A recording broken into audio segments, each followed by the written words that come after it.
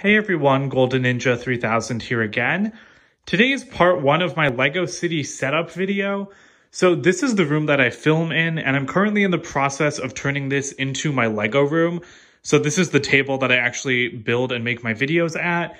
And then behind me is this old desk from my bedroom. But I'm going to be setting up my very first LEGO City display, so it's going to go right here.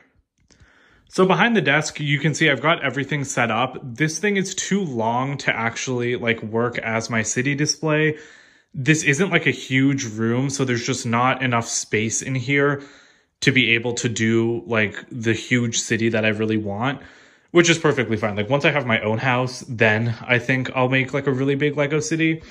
But so I have three of these IKEA Linnmon like tabletops. It's the same tabletop as this one and the one that I film at it's just smaller. Then back here, I've got a couple of shelves. These are the same shelves in my Hogwarts Connected video that I display my set on. So I'm to put up like one or two of them on this wall. I've also got two smaller ones to put on this wall, although again, I'm probably only to use like one of them, just so I have some more display space. And then on the actual desk, you can see that I've got some city sets, so like stuff like the bridge and then my modular buildings are to go into my city. And then everything else here is just stuff that I just built and have to review. But I'm really excited to get started with this. So in this video, I'm just going to be setting up the tables. And then in a subsequent video, I'll show me starting to set up the city display. And then I'll probably finish it in a third video in a couple of months because all of the pieces that I need won't be arriving before I leave to go back to school. I actually mapped out my design right here. So this is the one that I'm going with, and that's the one I wanted to do. I also tried making one that could fit like a whole Jurassic World display, but that's just not going to be able to work. So I'm really excited though, because I've never had like a permanent Lego City display. I used to have a city block, but that was it. And it was very messy. So I'm really excited to get into like a properly planned city with like roads and everything. So over here in the corner, this is the pile of stuff for my city that used to be in my old display. So I've got some superhero minifigures. I have like some car builds. And then I just have a bunch of sets that I need to rebuild, like the Sanctum Sanctorum or like the City Hospital. And then this pile over here is just stuff that I haven't built yet.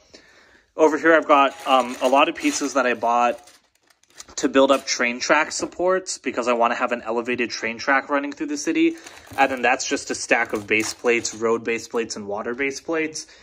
But the reason that I won't be able to get my city done before I go back to school is because I'm waiting on a bunch of pieces from Lego and then I'm still waiting on a bunch of base plates from a Bricklink seller. So here are all three of those IKEA tables set up. Now I am on carpeting, so there is a slight issue. You can see that like the one in the middle is a lot lower than the other two. So I'm going to have to figure that out. In the corner, I've got a couple of those buildings for my city. And then I've installed the shelf up top. So I've got a couple things for the city in the corner and then just the Comic-Con exclusives and my new Batwing, which I am going to wall mount. So there is some more work still to be done for the city and I don't have all of the pieces that I need to like even complete the roads before I go back to school. That's kind of disappointing but I'm going to like just build half my city then, make a video about that, and then I'll have like the real city finished next time I come home, which will probably be in March or May. It's just kind of unknown right now, but I'm really happy with how this is turning out and I can't wait for it to be done. So that's it for today. Don't forget to comment, like, and subscribe, and I'll be seeing you guys with more videos soon. Bye for now.